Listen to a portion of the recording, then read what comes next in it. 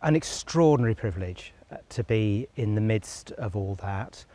One of the peculiarities of, of leading the service is uh, that uh, you, you, you are standing on the steps of the Abbey as the cortege draws close, uh, the, the band's getting closer and closer. Uh, you're then very close to the coffin, and at the end, that was very moving and actually quite tricky. A sense of being in the mid- middle of history, frankly, and a lot of people have talked about that since. It's not hours or days or weeks of planning, it's months and years. Uh, so, an awful lot of uh, what you've just seen and heard has been thought about, it's been reviewed and revised. Uh, some extraordinary people uh, have been working on it uh, night and day for the last uh, 10 days. so, lots and lots of preparation.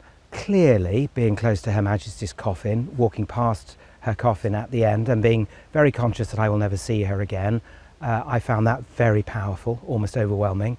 Quite how our new king has sustained a private grief uh, in the midst of such a punishing programme. Uh, quite, uh, quite how he holds it together for all of us, I honestly don't know. Uh, it's an extraordinary thing he and the family did for us today.